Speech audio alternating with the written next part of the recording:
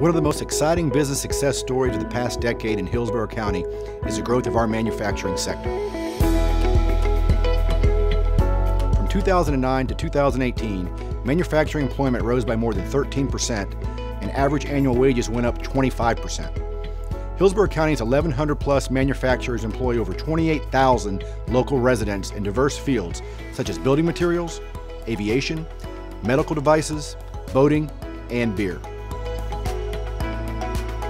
Tampa Hillsborough EDC and Hillsborough County have been working together to support the growth of these exciting local companies and recruit new ones to our market.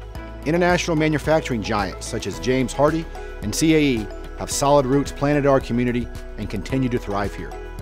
Newcomers like Bertram Yachts and Advanced Airfoil Components are providing local families with innovative, high-wage jobs and state-of-the-art facilities. And homegrown businesses like Tampa Bay Brewing Company and Aero Simulation are expanding thanks to our pro-business environment and the availability of plenty of skilled talent. These great jobs won't stay here forever if we don't have the workers to fill them.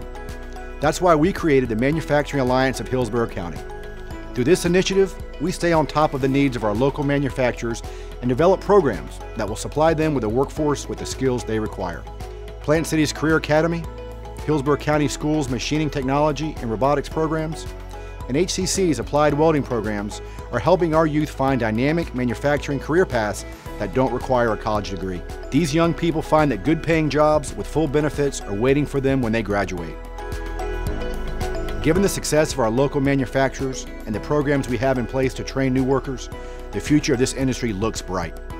In Hillsborough County and the EDC will be there to support them every step of the way.